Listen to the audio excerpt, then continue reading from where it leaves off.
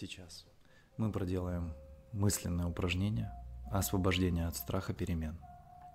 Перемены – это всегда неизвестность, а неизвестность может вызывать страх. Поэтому люди обычно страшатся перемен.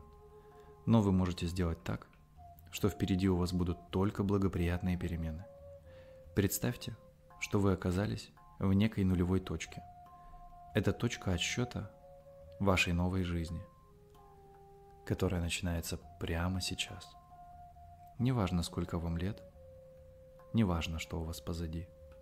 Сейчас для всего человечества начинается новый отсчет. Все прошлое обнуляется.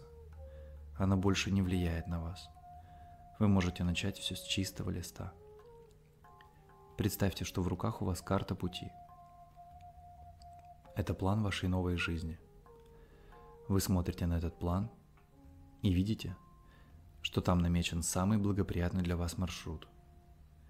Там намечены самые желанные ваши цели и самые короткие и приятные пути к ним. Там намечены и некие сюрпризы. Вы еще не знаете, что это будет. Но знаете, что вас ожидает нечто столь прекрасное, что вы пока не можете даже предвидеть это. Представьте, что берете Бога за руку и говорите, идем, я готов. Я знаю, что впереди у меня самые прекрасные перемены.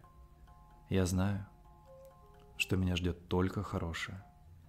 Теперь я пойду только наилучшими путями.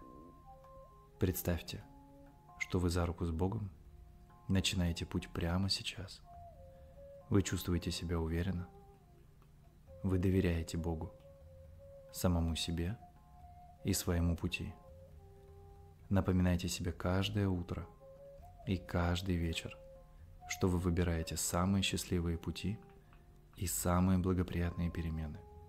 И увидите, как ваша повседневная жизнь меняется к лучшему.